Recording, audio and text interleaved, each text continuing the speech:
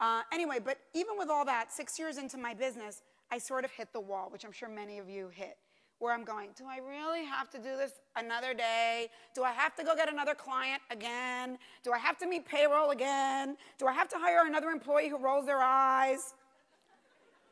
Couldn't take it anymore. And somebody came up to me and offered me to go run a network in the United States, Telemundo. And I got like stars in my eyes. I'm like, you know what? I just want to have an expense account on somebody else's dime and not work so hard. But thank God that I wasn't completely retarded. And I said, let me keep my company going. Let me not give it up completely. Let me, let me elevate three of my employees, let them run it, and let me go run this other network on the side. And I left my own company, and I have to say, they did better the three years I was gone than when I was there. So that should tell you something. But I left to run this network, and it was the three worst years of my life. I got nine breast lumps. Um, I was sick the whole time. I had eye infections. Um, and, I, and I think because ultimately it goes back to, and this, I'm, I'm saving you guys a lot of time to not have to go do this, because what happened is that I realized the same reason that Donald Trump was difficult, it's like I, I'm the kind of person who's a whistleblower in a corporation. I should have known that. I can't watch bad things happening to people and like just sit by and take it. So it was very, very difficult, difficult for me. Luckily, uh, I was able to sell that company to NBC and finally went back to my company and decided I'm going to make content for women that speaks to women and that's aspirational. And the first show I did was The Swan. And Nell and I have been working for years on doing a show called Ms. Mogul. And I'm doing a new show coming up called The New You for Women. Um, and all of that led me to going on The Apprentice. So I know we don't have a lot of time, so I want to make sure and tell you what I learned on The Apprentice. Um, even with all the difficulty of The Apprentice, the greatest, I could not pay Donald Trump for what I learned. Because I got there and it was like going to a mid-life and a mid-career boot camp. I already feel like, you know, I went there thinking, well, I already, I'm, I'm successful and I've already made money and I got game. Well, when I got there, I realized exactly what Simon was saying. He just put a word to it. It's like I became a worker bee. I was doing the how in the tasks. And I was blessed to have Gene Simmons as a team member. And Gene Simmons said to me, Nely, you're the smartest person here, next to me, of course. But you work too hard. You don't work smart. He's like, pull out that Rolodex and start calling people. And he goes, Your problem is you're a woman and on top of that, you're a Latina, and so you're embarrassed to ask people to help you when it's a privilege to ask people to help you. And I thought to myself, he's kind of right. Like, I do become a worker bee and try to do everyone's job for them. And he's like, no. Then another task I did, you know, I, they asked me to do a TV commercial. I did a TV commercial and a website and a business plan. And Donald Trump says to me, go on. You over delivered. He's like, you're not dealing with the owner of a company, you're dealing with an employee who's a, your client. They only asked you for X. Why did you give them X, Y, and Z? You're even making them feel bad. And I thought, he's right.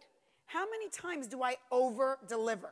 And like have to be the smartest girl in the room, have to outdo myself, and really like they kind of resent it. Number three, when I'm doing that pedigree commercial, I said to the client, Do you want a celebrity no, we don't want a celebrity in the commercial. We just want it to be emotional. So I don't give them a celebrity. Well, the other team puts a celebrity in, they get starstruck, and they pick the other, you know, the other commercial. And I thought, I've really, I don't, I haven't really realized the power of celebrity in America. Whether it's good or bad, and I agree with it, the fact of the matter is you put a celebrity in anything, even if it's a piece of junk, and people get all excited. So that was another thing I learned. Another thing I learned is that all the tools that I thought I had and that have served me thus far really weren't like kind of working for me. Like I realized that when I did the best work on the show is when I sort of approached everything like I knew nothing at all. And it really taught me that a lot of times in life you have to start from scratch as if you know nothing at all. With all that being said, what would I say to you ladies about what are the what is what are the number one what's the number one thing I've learned in this trajectory as an entrepreneur.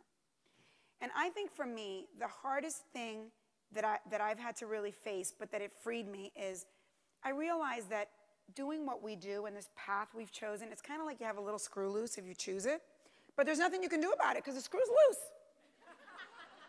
and I realize like part of part of my issue is that I'm always complaining about it. Like, oh, it's so hard. I'm always climbing a mountain. When is it going to get easier? Oh my God. I'm going to tell you right now, it doesn't get easier. I've made millions of dollars. It still doesn't get easier. It's, I'm no, I'm not one iota. It's not one iota easier than when I was 25 years old because there's always another mountain to climb. So I have, I have felt much better once I like surrendered to the fact that this is a lifelong mission. It really is a lifelong mission, and you have to hear that. And the truth of the matter is, you, kind you guys kind of like all this drama. Let's face it, entrepreneurs like drama. So let's just own it. And the other thing I realized is that a lot of the things in life that I thought would make me happy really didn't. Like I always thought, well, if I found the perfect man, I'd be happy. The truth is, I have found the perfect man and I adore him, but that alone doesn't fill you. Um, if I had a kid, it would make me happy. Well, I had a kid and I realized it's my job to make him happy, not his job to make me happy. and careers are a mixed bag. They come with ups and downs, and you, you sometimes feel like the pits, and sometimes you feel high. And this is a career of highs and lows, as Simon said. So, what have I realized does make me happy? And I really did figure this out, and I think this might help you. The one thing nobody can take away from me, whether there's a world war, whether everything goes to hell, whether all my money's taken away from me, whether my business goes to pot, no one can take away from me the passion I have to grow every day. And I know every single one of you here can hear that because I know you've got that. There's no other choice for us, there's no other way to be. And so when you finally realize that that's the key to your happiness, is to come to seminars and listen to people speak. To every day just grow a little bit. Even if you're in the most horrible moment of your career or your life, you go, there's a reason this is happening to me, and it will take me to a higher place. Because it has for me. Every single time I have been heartbroken, it's taken me to a higher place. I came up with the swan because I broke up with the father of my kid.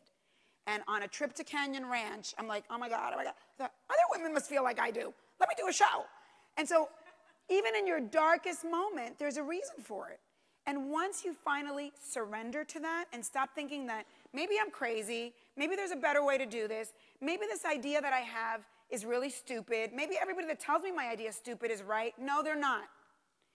You just have to find a different detour to get to your idea. Your idea is right. Very few people on the planet have a clear vision and a clear direction and a clear passion for something that appears to be a screw loose.